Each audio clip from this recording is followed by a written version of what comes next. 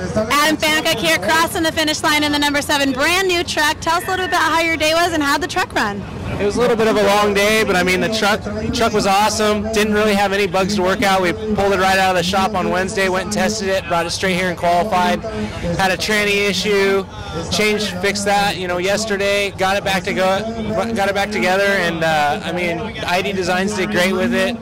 Courier Motors, everything, Galindo, you know, Motorsports crew, just everything went into play. You know, just needed a little bit of luck today. You know, a lot of those fans here on DIRTnewz.com have been watching you race in six, six, since you've been behind the wheel of a 1600 and kicked everyone's butt. How does it feel to be battling with the top out here in a trophy truck? I mean, it feels great. It's kind of all relative. Everyone would probably say the same that came up. Um, just it's just a little bit different. You know, you get you get going to the higher speeds and and. Uh, you know, you can't really, it's kind of follow the leader. Instead of just going all out at 50, 60 miles an hour, you're doing 100, 120, and, you know, it takes a lot of, a lot of nerve to step out in the dust and go for it. So uh, that's probably the biggest difference. Well, great job out there today, and we'll see you at the 1,000. Thank you very much. You guys battled your way up to the top, and you took the line off the start. How was that section?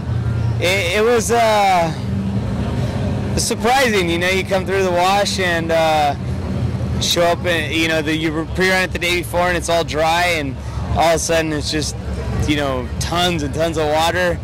I actually slid out and ended up on the bank and uh, backed it in and backed it back down and got back on course and everything was fine. But uh, yeah, to be soaking wet and full of mud and you know half mile on the start was uh, not the best thing, but you know.